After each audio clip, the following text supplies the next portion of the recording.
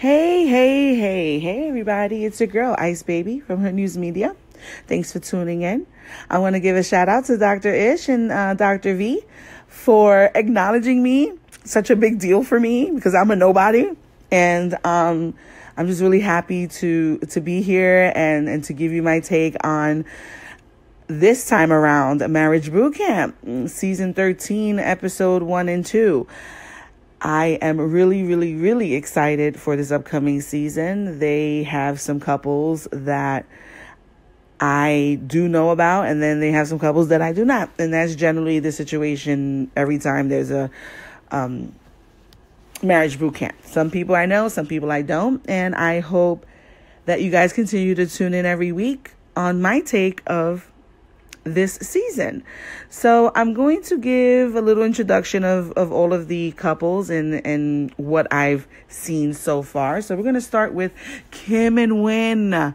Um, they are from some real housewife reality show. I'm not sure which one. I'm not sure if it's um, Beverly Hills. I'm not sure if it's New York. I, I'm not, I know they're not from the Atlanta one and so I'm not sure which one they have been on before.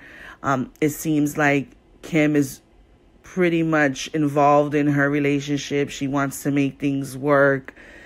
She probably has some insecurities because Mr. Wynn seems to want a young, hot, banging babe. And it doesn't seem like he finds Kim to be attractive or being that she's not this, you know, in his eyes, this bodacious babe, you know, I guess he's yearning for that, even though he's with her. But in one of the scenes, it seems like she was questioning even if she was his girlfriend.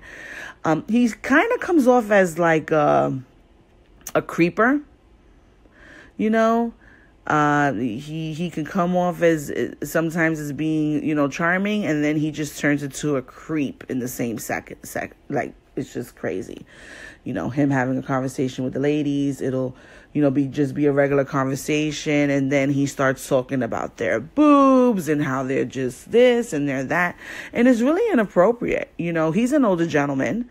You know, he's he's no young whippersnapper. Okay um, and he he just wants to, you know, live his vida loca. He wants to do him. He wants to be on the scene uh, and be with with younger babes. And you know what? At the end of the day, to each his own. If that's how you really feel Wynn and Kim is not fulfilling that fantasy for you or that need for you, then stop stringing her along. Because guess what? That's not cool. Okay? It, it's not fair to her you know you're you're you're pushing your needs on her. And clearly you know she's an older woman. And you know she's not 20 years old anymore. She's not 18 anymore. She doesn't look that way. And no matter how much money you have you try to alter your body it's not happening.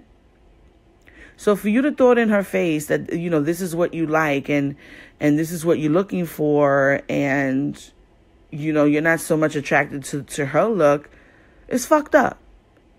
And it's not necessary. You have options, just like she has options, obviously. But there's no need for you to string her along if, if you're looking always to the side for another hot piece of ass. So I hope you get your shit together because you're you're pissing me off just thinking about it.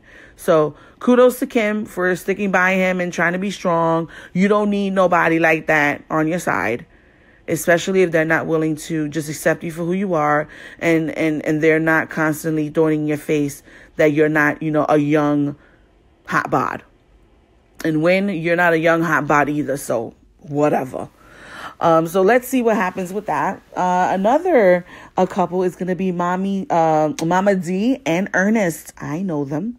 They are from another reality show called um, Love and Hip Hop Atlanta, and I love me some Momma Dee.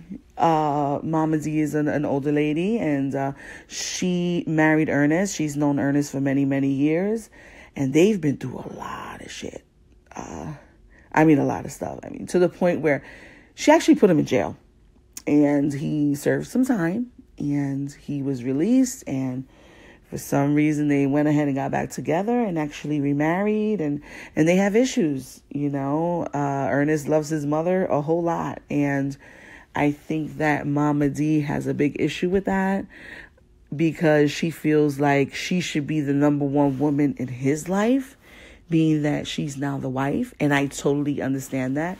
You know we're not saying that me as you know as a married woman you know there has to be balances to things in life. And you know, you have your wife and you have your mom, and you love them.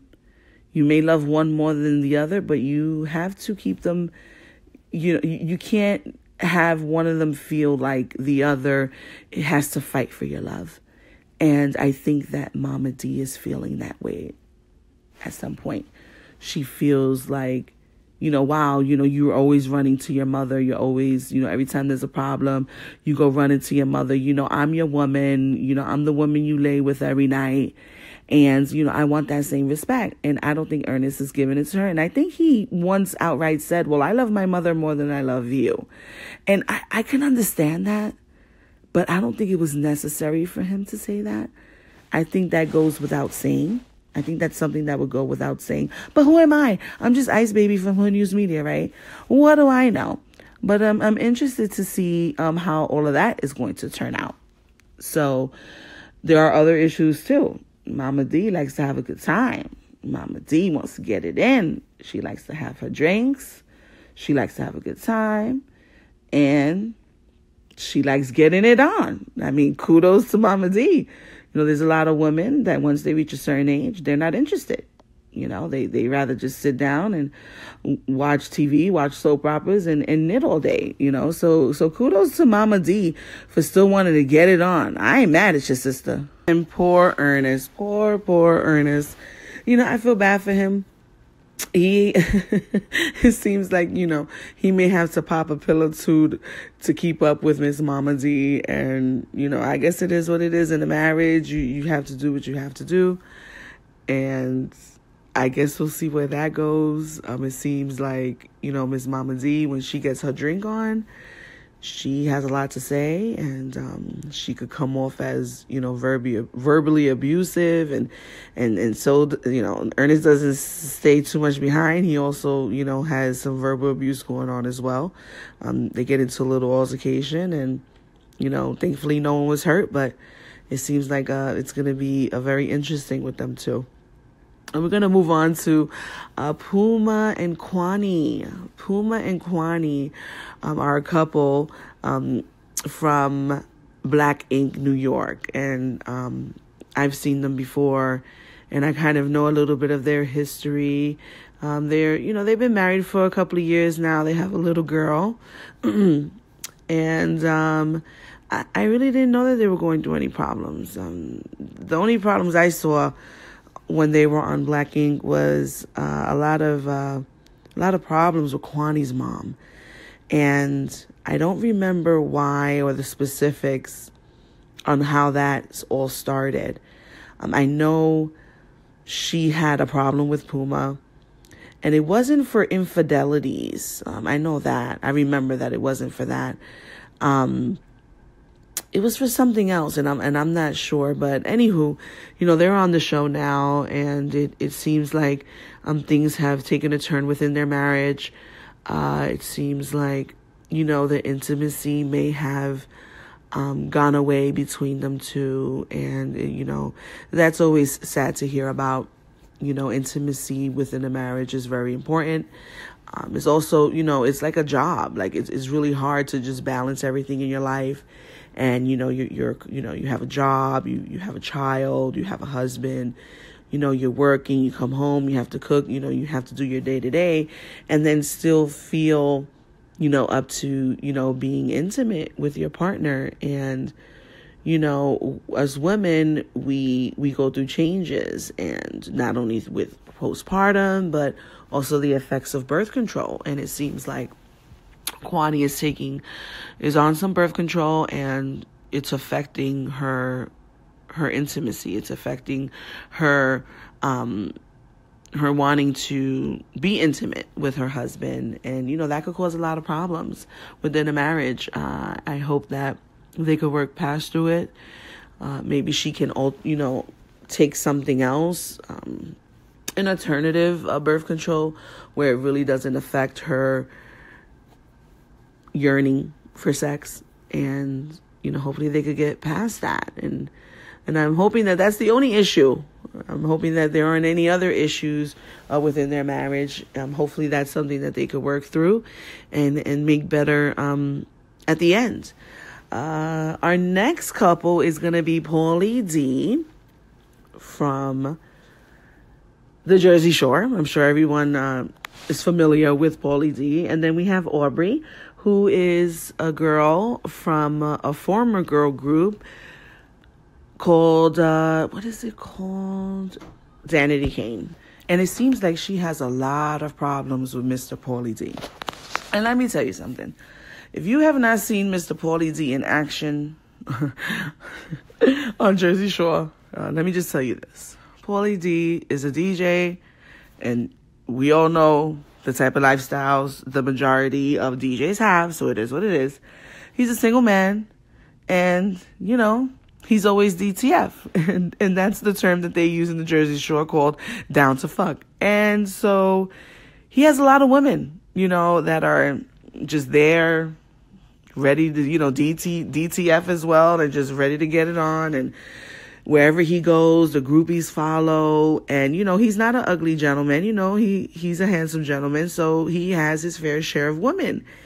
And he's DJing in Las Vegas out of all places. He has a residency there and, you know, he has a lot of fans, a lot of fans. And so Aubrey is having to deal with that problem him constantly, you know, having to dip and dodge the groupies and he's very uh, particular with the things that he that he does at home. He has a home. It seems like Aubrey lives with him, and she comes with a little baggage. You know, she's probably a little messy, and he likes things a certain way, and he's very meticulous. And you know, the weave is everywhere, the clothes are everywhere. Her, her little dog is just wrecking the place and just running, you know, running amuck through his home and and he likes everything clean and and I understand that.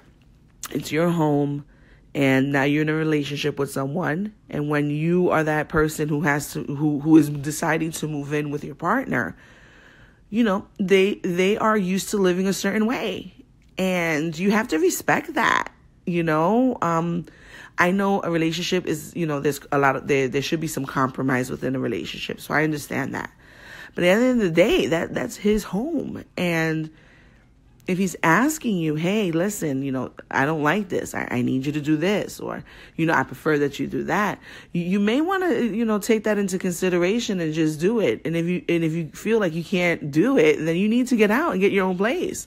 Maybe you, you shouldn't be living with them. Maybe you guys can get something together that you can both call your own, you know, like together, that it belongs to both you and him versus this is my place, these are my rules, take it or leave it. But, you know, you, you just can't go into someone's home and, and expect to do what you want to do and there not be a problem. So, you know, um, it, I don't see Pauly D being very affectionate with her. I don't, I don't see him really tending to her, um, cries for help, her her cries for change or anything like that. And I don't know if that is a reciprocation of her not giving a shit about how things are, are being handled in his home with, you know, with her running amok and her dog running amok in her in his home. I don't know if he's treating her like that, you know, um, because of that, as a result of doing that to his home. I'm not sure. I kind of feel like this is just what he is this is the way he is. You know, he's Pauly D. You know, take it or leave it, and and and that's that. I mean, there was a a scene in the show in episode two where she's like crying and pleading with him, and you know, she outright said, you know, you laugh at me when I cry. And and me personally, I, I've been through that. I, I was in a relationship for seven years. And I remember that clear as day. I would cry and plead with my boyfriend, and he used to laugh at me. And, and that's one of the worst feelings to ever feel. And, and it's something that I never wish on anyone. It, it, it's so aggravating to, you know, you love someone and you're crying with them you know, letting them know, hey, you're hurting me. You know, you're making me feel a certain way. You know, this is this is what's going on with me. You know, I want I want you to change. I want I want this and that from you. And for the for the person that you're pleading with to outright laugh in your face is so fucked up. And I just remember just wanting to cry more and more and more. It was horrible. It it was so toxic. It never got any better that was a long time ago and I'm I'm no longer with that person. But I know firsthand how that feels and it's fucked up. You know, and if Pauly D is doing that, then he needs to stop and he just needs to move on. You know, if, if the person that you love is pleading with you and, and, and crying out to you about how they feel and, and what they need from you, and you're laughing in return, that's a relationship you don't need to be in. And that's someone you don't need in your life. So I hope that they get it together uh, I guess we'll see. I don't know what's going to happen with them. I really don't. And let's see who else we have. We have another uh, couple, and their name is Desiree and Chris. They are from an episode, I believe, uh, a season of The Bachelor. So I'm not too familiar with them one thing I noticed with marriage boot camp is that every season, you know, they have a they have a couple of couples that that I guess are some people do know more than others. And then you have the, these bachelorette couples or the the dating reality show couples that come on to uh, marriage boot camp. And for me personally because I've been because I've been watching marriage boot camp since the very beginning they kind of have like a like a track record the couples that come from the dating reality shows. Um to me in my opinion they always feel like they don't know why they're at marriage boot camp. There's nothing wrong with them. Everything is just you know all hunky-dory peaches and cream. Everything's all rosy and we're in love. And they're very very judgmental of the other couples in in the home at the marriage boot camp. You know, they, don't understand why they're there. They never have any issues. They never want to own up to how they really feel. They kind of like put up this facade of this perfect, you know, union. And it's all bullshit. Like, it, it really is. It's, it's really all bullshit. And it, it kind of bothers me that they all kind of feel that way you know, they go in with their noses up, like, uh, you know, look at them, or they, they really have problems, or look at them, they're not going to make it. But when it comes to the the things that they're asked to do at the marriage boot camp, the exercises, and you know they and there's a lot of great tools that Dr. Ish and Dr. V have, and I learn a lot from them watching through the television with my husband and and you know it makes me think about a lot of different things. I, I really really enjoy the show uh, for that reason as well because not only are they giving these people therapy, they're kind of giving me therapy too, um, in a sense. There's a lot of of, of important and, and uh, tools that they that they give, and through these these these uh, exercises that they do, they kind of make you want. They they kind of need you to dig deep and you're not realizing that you're digging deep and, and that's you know the whole uh, great thing about these exercises is that you're working without even knowing that you're really working on the issues at hand and i like that approach that they have. And so with these you know reality show couples it's always some bullshit. They never want to dig deep. They're always you know if, if you know if, if the practice is like hey you know, name five things that you wish your partner didn't do or you would like for them to do. It's always some vague just bullshit all the time. And i'm just like oh here we go. Every you know every season is there's always that couple that they just think nothing's wrong with them.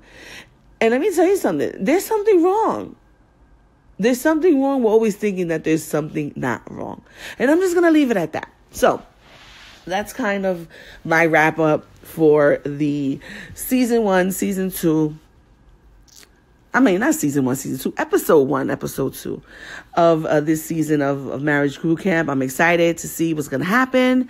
And uh, every week I will be tuning in with you guys and giving you my take on what's going on with the show and how I feel things are going down. And again, shout out to Dr. Ish and Dr. V you know, for always, always doing their best with these couples and, and trying to get everyone back on track. It, it, it, it seems to be not an easy job to do, but it seems like it's something that they love to do. So kudos to them on helping people be better people, better lovers, and uh, I really enjoy the show, and I hope you do too. And I'll be checking you guys out next week. This is Icy Baby, and I'm here from Hood News Media. You could check us out. We are on all platforms, you know, Facebook, Instagram, Twitter, Google Play, iTunes, Spotify, Tumblr, YouTube, Hood News Media with a Z. We're here, and uh, I'll be uh, tuning in again next week. You guys have a, a wonderful day, and I'll be speaking to you soon. Bye bye.